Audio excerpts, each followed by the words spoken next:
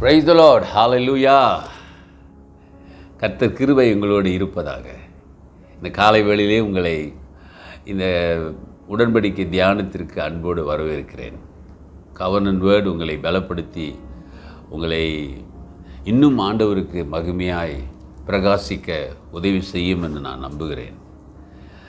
இன்றைக்கு பதினைந்தாம் தேதி fifteenth July two thousand twenty four Friday இன்றைக்கி ஃப்ரைடே நம்ம சர்ச்சில் ஆராதனை இருக்குது revival healing service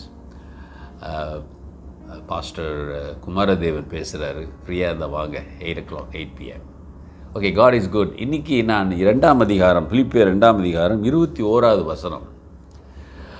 பிலிப்பியர் chapter two verse twenty one ஒரு பொது பொதுவான ஒரு சிந்தனையை இங்கே பவுல் பேசுகிறார். For they all seek the own interest not those of Jesus Christ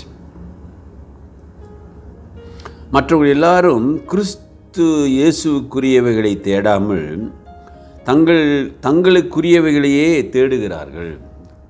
இயேசு கிறிஸ்துவ கிறிஸ்து இயேசுவுக்குரியவைகளை தேடாமல் தங்களுக்குரியவைகளை தேடுகிறார்கள் மற்றவர்கள் எல்லாரும்.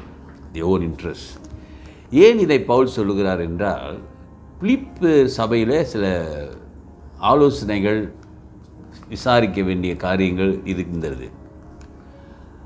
அதற்கு அங்குள்ளவங்க விசாரிக்க முடியாது ஆலோசனை கொடுக்க முடியாது. ஏன்னா ஏனென்றால் அவர்கள் கிறிஸ்து இயேசுக்கான காரியங்களை சிந்தியாமல் தனக்கு உள்ள காரியங்களை சிந்திக்கிறார்கள். ஆகவே நான் திமத்தியை அனுப்புகிறேன் என்று அவர் சொல்லுகிறார்.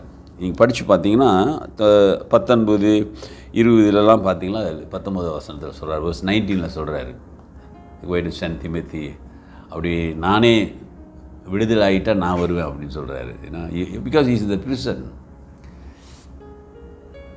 என்ன சொல்லுவது புரியும் என்று நான் நம்புகிறேன்.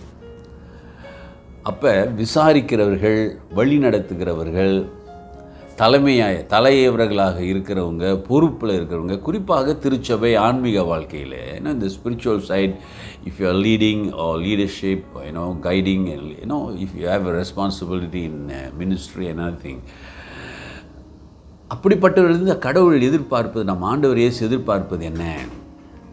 இயேசு கிறிஸ்து விரும்புகிறதை நாம் செய்ய வேண்டும். நாட் யோ இன்ட்ரெஸ்ட் அப்படி என்றால் இந்த உலக பிரகாரமான நியாயங்களை அல்ல.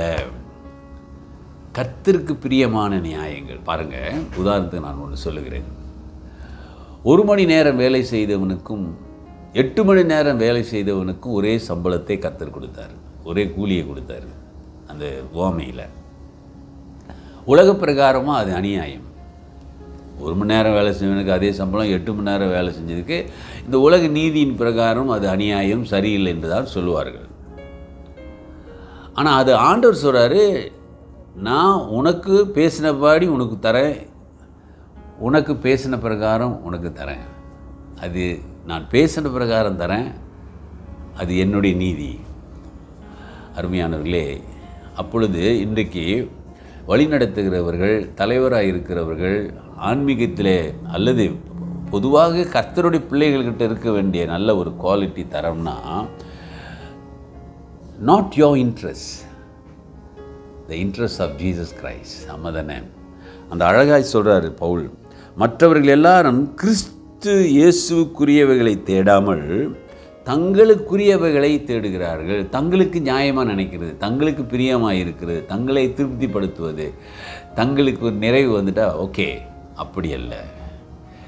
அதனால தான் வேதம் சொல்லுகிறது உன் நினைவுகள் என் நினைவுகள் அல்ல என் நினைவுகள் உன் நினைவுகள் அல்ல என் வழிகள் உன் வழிகளும் அல்ல என் உன் வழிகள் என் வழி. இப்போ தெளிவாக சொல்லிட்டு அப்போ கத்துடைய பிள்ளைகள் ஊழியக்காரர்கள் எல்லாருமே இதை நிதானிக்க வேண்டும். யோசிச்சு பாருங்க.